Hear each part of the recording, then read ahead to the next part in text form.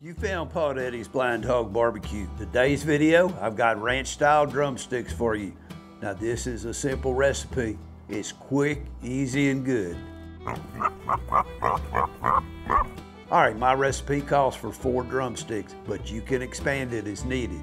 All the ingredients that you're gonna need besides the drumsticks, Italian dressing or zesty Italian.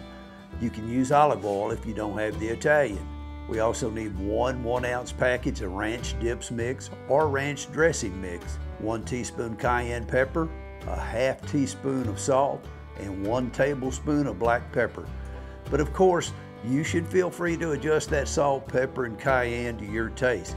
But keep in mind that the ranch dressing mix has salt in it as the number two ingredient, and so that half teaspoon of salt should be the little half. Place the drumsticks in a Ziploc bag and then add just enough zesty Italian to give them a good coating, and then you want to add the other ingredients. Zip up that bag, give it a good toss, and then we're gonna put this in the fridge while you bring your oven, your grill or smoker up to temperature. And I'm gonna be cooking these on my propane grill. And I have a three burner grill, but I'll be using two of the burners.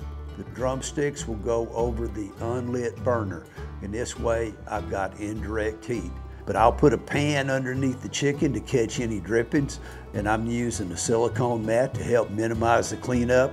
And when you get through, just throw that mat in the dishwasher. Now my target grill temperature is 300 degrees and a lot of recipes call for drumsticks to cook to 165, but I'm old school and my preferred range for dark meats between 180 and 185. I don't want the meat sticking to the bone, but if you like it at 165, then that's the way you should cook it.